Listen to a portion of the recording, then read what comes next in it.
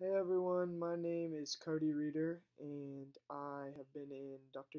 Um, Gonzalez's class, um, British literature class, and so um, today I'm going to be doing my final presentation, and we'll be um, talking about how um, reading and interpreting the course text for English 2321 um, can help me be beyond this virtual classroom. I'm going to talk about three different points that I think are important um, in three different things that, that I learned from this course that I think will help me beyond this classroom.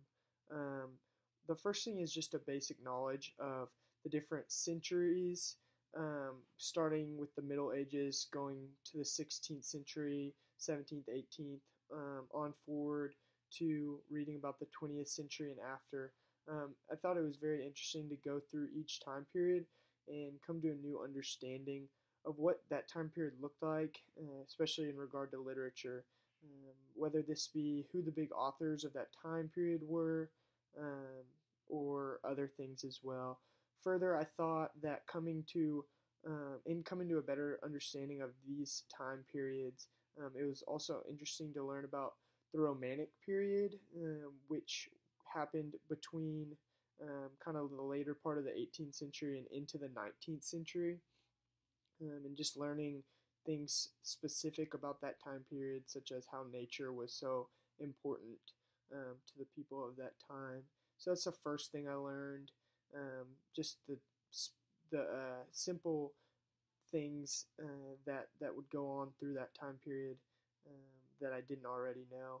Um, that I think will benefit me in the future and just knowing them. And so next, uh, I want to talk about just some of the readings and um, how you know some of the readings were not easy reads. Uh, they were difficult. They stimulated my thinking, um, and oftentimes I think that we um, get very used to reading things that we pick or reading things that interest us.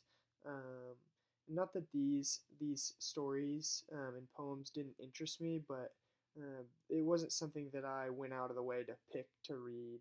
And um, so I think it was important for me to go through these readings, um, and, and each of them did stimulate my thinking.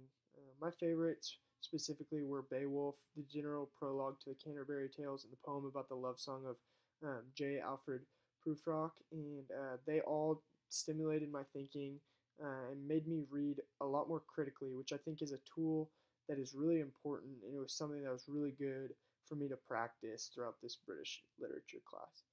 The last thing that I uh, took away from this class that was a recent um, something that I recently came to understand was just the, the idea of uh, elitism.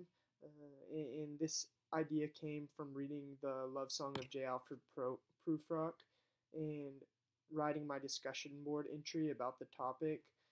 I thought it was not only just interesting and not only just an interesting poem that took a lot of brain power to understand, but it also made me think hard about people that might feel similarly to the way Prufrock feels in thinking he is inferior to the higher class people that he was around. Um, this was sad to me. Um, the man kind of lived a sad, sorry life um, based on this poem, and it made me kind of realize like that it, it's pretty important how I treat everyone I come in contact with and try to make them a priority because Prufrock didn't feel that way at all. And so it just kind of it changed my perspective in regard to how I treat people. And so, um, yeah, I want to say thank you to Dr. Gonzalez for a great semester. I learned a lot and uh, really appreciated this course.